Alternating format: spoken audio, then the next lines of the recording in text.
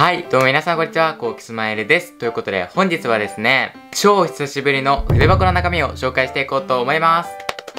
あの、超久しぶりというか、もう何年ぶりぐらいの話になっちゃうんですけど、その動画が意外とね、このチャンネルの中で好評だったので、今回は第2弾ということで、一応ね、高校2年生になったということで、新しくなった筆箱の中身を紹介していこうと思います。そしてね、今回はちょっとね、あの、さっき文房具屋さんで買ってきたものもあるので、それをね、使ってみようと思います。それでは、最後まで見ていってください。レスラー、ゴーはい、まずね、筆箱なんですけど、筆箱はね、こういう黒いやつを使ってるんですけど、なんかね、そこまで僕筆箱にこだわりがなくて、僕は最終的にシンプルなね、こういうのがいいなと思って、これを使ってます。まあではね、中身なんですけど、中身は、じゃーん。うわー、落ちちゃった。中はこんな感じです。じゃーん。わかるかな？意外と結構こう見ても入ってる気がする。ではね、早速シャープペンから紹介していきます。まず、シャープペンはこの2本を使ってます。で、メインは黒い方で、で、サブは白い方みたいな感じなんですけど、このね、メインの黒いやつはスマッシュっていうね、まあ超有名なシャープペンなんですけど、使いやすいんですよね、一言で言って。で、やっぱ高校生とか、あとまあ中学生とかもそうなんですけど、あの、そうなんですけど、そうなんですけど、なんかめちゃくちゃ文字量をね、もう書くようになると、すごい手も疲れるし、しかも書きやすさっていうのがすごい大事になってくるんですけど、このシャープペンはそのね、2つともクリアしてるシャープペンだと思って、なぜかわかんないんですけど、けど書いてても全然疲れないっていうのがね、このシャープペンで、細いっていうのもそうだし、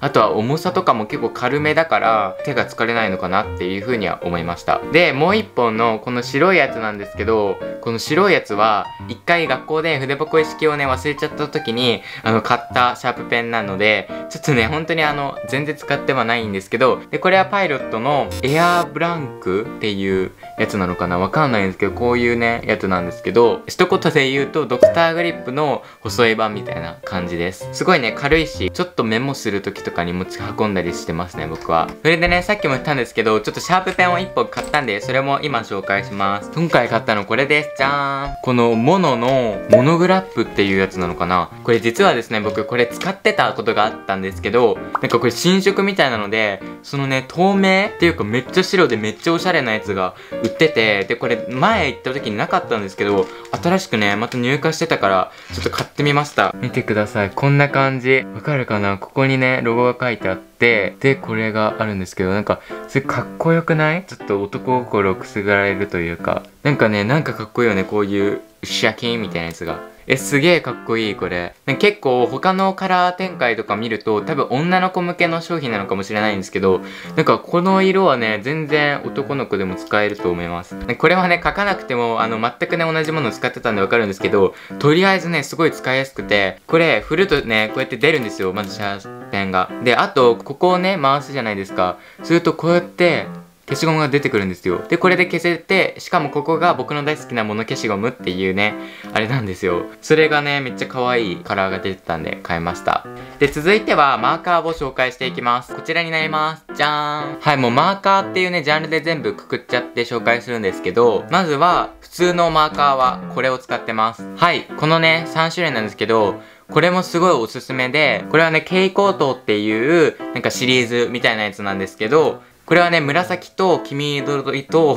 黄色を使ってます。普通にね、僕はこの3種類をね、授業で使ってて、やっぱ高校生とかになって、まあ中学校の時もそうなんですけど、やっぱ教科書にね、ラインを引いてくださいとか、絵を描いてくださいとか、そういう時に、やっぱ蛍光ペンをね、使うこともすごい多いので、蛍光ペンに関しては何色持っててもいいと思います。僕の友達でいたのは、なんかポーチみたいなのに、蛍光ペンとか、あとは色鉛筆とかをまとめて入れて、それ専用のポーチと別に筆箱を持ってくるっていう人もね、いましたね。だからそれぐらい結構本当に高校生とかになると色が結構使うことが多分増えると思うので、あの、ぜひね、こういう蛍光ペンとかは何色も持ってていいと思います。はい、そして続いてはこちらです。こちらね、2色なんですけど、これは暗記用マーカーペンって言って、これ何かっていうと、めちゃくちゃ僕気に入ってるやつなんで、ちょっと紹介させてほしいんですけど、なんかこれ、例えば僕が使うやつだったらこの緑なんですけど、例えば赤血球っていう単語があったとするじゃないですか。そしたらその赤血球のところにこれを引くんですよ。で、そして家に帰ってきてテスト前とかに赤シートを取り出して、その赤血球って書いたラインを引いたページを開いて、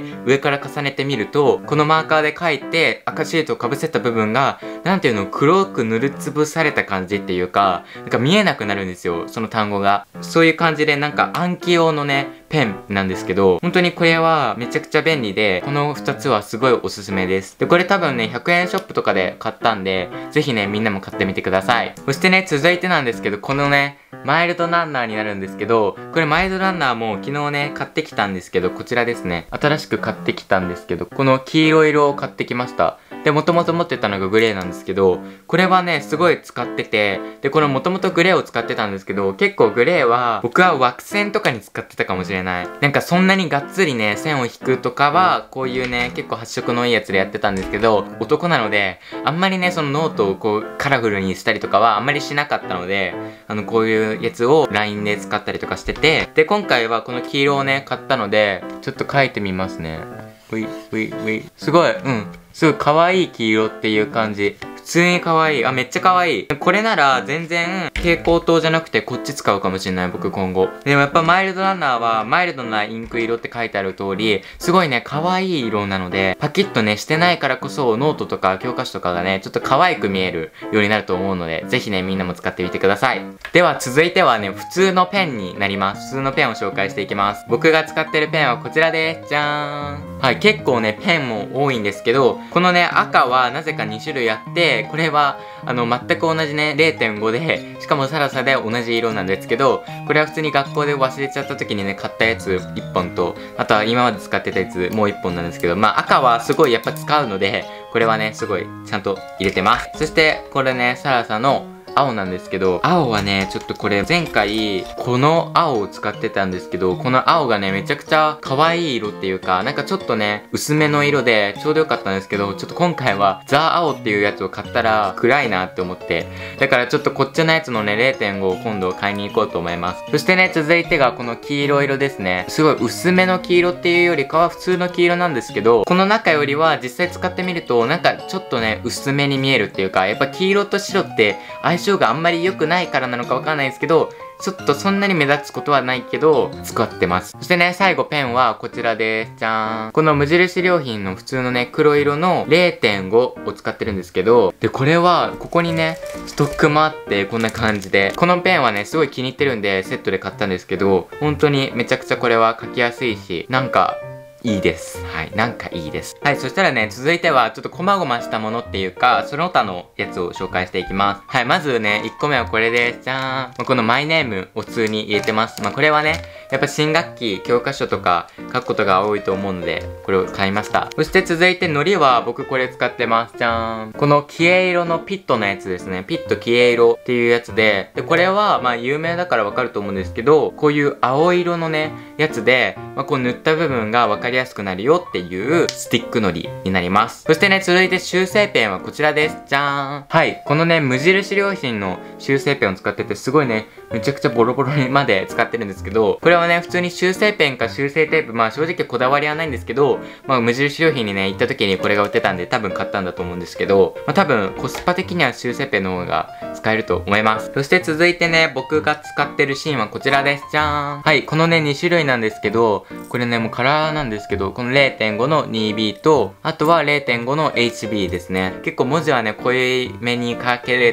たらいいなっていう感じなので、まあ、2B をこれからもまたね、使い切ったら買おうかなって思ってます。はい、そしてね、続いて付箋はこれをね、使ってます。じゃーん。プラスチックタイプの付箋というか、こういうパキパキのやつですね。やっぱね、付箋は、あの、いつになっても使うと思います。社会人になっても使うと思うんですけど、たくさん使う回数が多いので、こういうね、楽に取れるっていうか、こうやってピュッて取れちゃうので、こういうね、利便性が高いものを僕は使ってます。そしてね、続いて僕が使ってる消しゴムなんですけど、消しゴムはこれを使ってます。じゃん無印良品の消しゴムと、あとはこのアインっていうやつなのかなの消しゴムを使ってるんですけど、僕がいつも使ってるのはこの無印良品のやつなんですけど、このアインのやつも使ってます。まあ僕はね、この両方でもないんですけど、一番好きなのは、やっぱり、物消しゴムが一番好きなんですよね。なんかすごい物消しゴムって消しやすいなって思います。なんかあとは緑色のさ、なんだっけ？わかんないんですけど、なんかそういう消しゴムもすごい消しやすいなって思いました。はい、そしてね、続いて、定規はね、これで、じゃーん。これはね、なんか、ここの角がね、ちょっと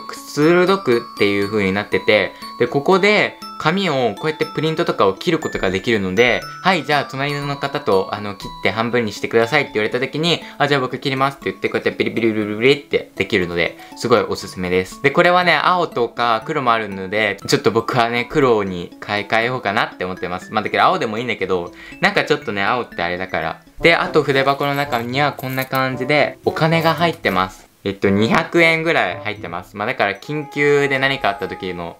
ためですっていう風に言ってます。はい、そんな感じですね。結構ね、こうやって見せると、たくさん入ってるね。意外と自分の筆箱の中って改めて見ることないから、なんかすごいちょっと新鮮な感じがしました。